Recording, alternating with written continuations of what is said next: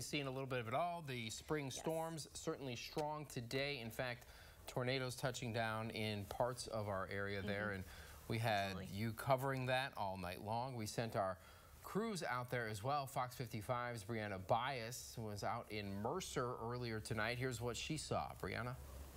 I'm in Celina, Ohio, right on the other side of the Indiana border where a tornado touched down earlier today. Now take a look at some of this damage here on this property right on Highway 49 in Ohio. The roof of this building blew off on this side and there's just debris all over the property. And then this guardrail let me tell you, it is heavy.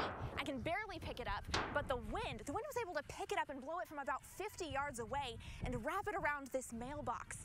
And let me tell you, that was really the agitator here in Northwest Ohio, the wind. Here's a closer look at some of that damage. Windows blown out and debris all over the property.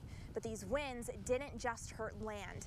Three people in Mercer County were injured and two of them were taken to the hospital. But Mercer County Emergency Management says all of those injuries were non-life threatening.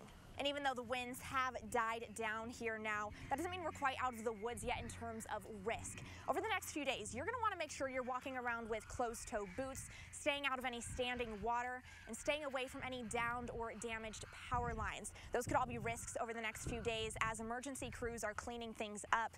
And also, if you walk under any damaged buildings or trees, look up and make sure there's no debris hanging that could hit you in the head. In Celina, I'm Brianna Bias, Fox 55 News. Thank you for that, Brianna, and we'll likely see much more damage and get even more reports as the sunlight comes up there for most of the places impacted by these storms. Weather updates and live radar, you need that. Just download the free Fox 55 weather app. You can check that out for updates to the storms and reports. We're still monitoring those tonight.